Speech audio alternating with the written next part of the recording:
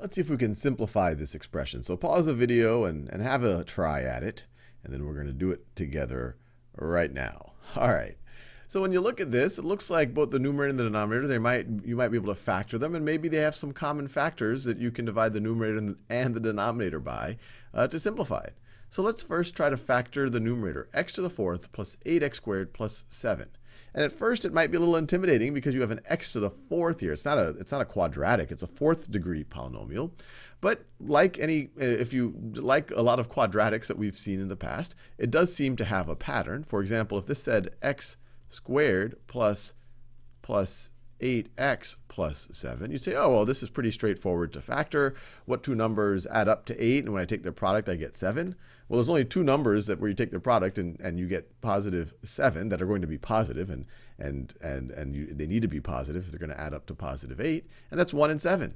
So this would be x plus 7 times x plus 1. Well, if you just think of, instead of thinking in terms of x and x squared, if you just think in terms of x squared and x to the fourth, it's going to be the exact same thing.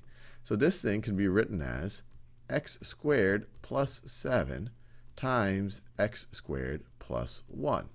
If you want, you could do some type of a substitution saying, uh, saying that a is equal to x squared, in which case, so if you said that a is equal to x squared, then this thing would become a squared plus 8a plus 7. And then you would factor this into a plus 7 and a plus 1 and then you would you would undo the substitution and that's x squared plus 7 and x squared plus 1 but hopefully you see what's going on here. This this is this is the the higher order term and then this is half the degree of that. So it fits this mold. And so you could do a substitution or you could just recognize well okay instead of I'm dealing dealing with x squareds I'm dealing with x to the fourth. All right. So that's the numerator. Now let's think about let's think about the denominator so the denominator, both of these terms are divisible by 3x. So let's, let's factor out a 3x. So it's 3x times 3x times, if you factor out a 3x here, 3 divided by 3 is 1. x to the fifth divided by x is x to the fourth. And then if you, if you factor out a 3x here, you're just going to get 1. And so far, this doesn't seem too helpful. I don't see an x to the fourth minus 1 or 3x in the numerator. But maybe I can factor this out further, x to the fourth minus 1. And that's because it is a difference of squares. And you might say, wait, wait, I, I'm always used to recognizing a difference of squares as something like a squared minus 1, which you could write as a plus 1 times a minus 1. Well, this would be a squared minus 1 if you say that if you say that a is equal to x squared. Then this would be a squared minus 1. So let's rewrite all of this. So let's rewrite. So this is all going to be equal to same numerator. Same, let's do it in green. Same numerator, x squared plus 7, can't factor that out anymore, times x squared plus 1, can't factor that out anymore. All of that over 3x. But this I can view as a difference of squares. So this is x squared squared, and this is obviously 1 squared.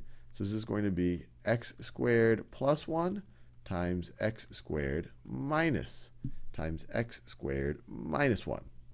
Now, clearly I have an x squared in the numerator, x squared minus 1 in the numerator, x squared, sorry, x squared plus 1 in the numerator, x squared plus 1 in the denominator. And so I could cancel them out, and I'm going to be left with in the numerator x squared plus 7 over 3x times x squared minus 1. Now, this looks pretty simple, and we want to be a little careful because whenever we do this canceling out, we don't want to make we want to make sure that we restrict the the the x's for which the expression is defined if we want them to be algebraically equivalent. So this one would this be this would obviously be undefined if so x cannot be equal to 0, x cannot be equal to plus or minus 1, po positive or negative 1 would make this expression right over here equal 0. So it cannot be equal to 0. x cannot be equal to, I'll write plus or minus 1. That would make this part 0. But this right over here, this one, uh, uh unless we're assuming we're dealing only with real numbers, uh, this one can't ever equal 0 if you're dealing with real numbers because x squared is always going to be non-negative and you're adding it to a positive value. And so this part this this factor would have never made the entire thing undefined. So we can actually just factor it out or cancel it out without worrying much about it. And so this is actually algebraically equivalent to what we had originally. Now we could write these constraints on it if we want. If someone were to ask me, uh, uh, you know, for what x is, is this expression not defined? Well, it's clear it's not defined for x. That would make the denominator equal 0, dividing by 0, not defined. Or if x is plus or minus 1, it would make the denominator equal 0. But that is that comes straight out of this expression. So this expression and our original expression are algebraically equivalent.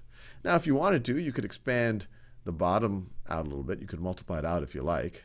That's equivalent to, so x squared plus 7 over 3x times x squared is 3x to the third minus 3x. So these are all these are all equivalent expressions and and we are done.